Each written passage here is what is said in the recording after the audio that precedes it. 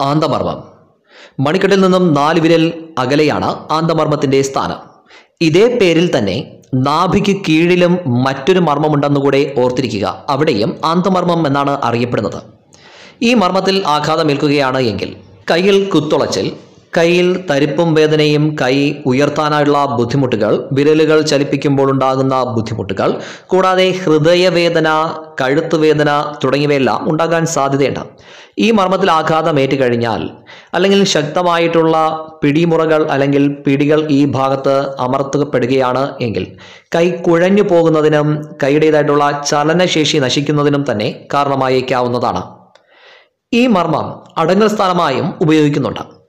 കൈയുടെ ചലനവുമായി ബന്ധപ്പെട്ടുള്ള ബുദ്ധിമുട്ടുകൾ കൈവേദന കുത്തുളച്ചൽ തരിപ്പും വേദനയും അതുപോലെ തന്നെ കൈയുടേതായിട്ടുള്ള രക്തയോട്ടക്കുറവിനും എല്ലാത്തിനും തന്നെ ഈ മർമ്മത്തിൽ സ്റ്റിമുലേഷൻ കൊടുക്കുന്നതും തടവൽ മുറകൾ ചെയ്യുന്നതും സാധാരണമാണ്. ഈ മർമ്മത്തെക്കുറിച്ച് മർമ്മക്കണ്ണാടി അഞ്ഞൂറ് എന്ന ഗ്രന്ഥത്തിൽ എന്താണ് പറയുന്നത് നോക്കാം.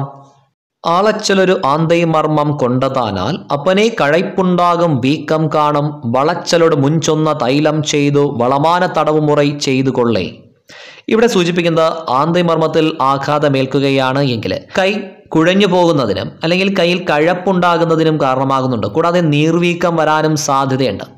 ഇവിടെ പറഞ്ഞിട്ടുള്ള എണ്ണയിട്ട് തടവൽ മുറകൾ ചെയ്താൽ ഇവ തീരും എന്നാണ് ഇവിടെ സൂചിപ്പിക്കുന്നത്. ഇതിന്റെ എണ്ണയുടെ രീതികളെല്ലാം ഈ മർമ്മക്കണ്ണാടി അഞ്ഞൂറ് എന്ന ഗ്രന്ഥത്തിൽ സെപ്പറേറ്റായി പറയുന്നുണ്ട് എന്ന് കൂടെ ഒന്ന് സൂചിപ്പിക്കട്ടെ. ഇത്തരത്തിലുള്ള മർമ്മ നോട്ടുകൾ മർമ്മ പോയിന്റുകൾ രേഖപ്പെടുത്തിയ ചിത്രങ്ങൾ എല്ലാം കൃത്യമായി ലഭ്യമാകാൻ ഞങ്ങളുടെ ടെലഗ്രാം ഗ്രൂപ്പിൽ ജോയിൻ ചെയ്യുക. അതിനാവശ്യമായ ലിങ്ക് ഡിസ്ക്രിപ്ഷൻ ബോക്സിൽ നൽകിയിട്ടുണ്ട്. ഏതെങ്കിലും കാരണത്താൽ ജോയിൻ ചെയ്യാൻ കഴിയുന്നില്ല എങ്കിൽ തീർച്ചയായിട്ടും കമന്റ് ചെയ്യുക. മറ്റൊരു ലിങ്ക് നിങ്ങൾക്കായി അയച്ചു തരുന്നതായിരിക്കും.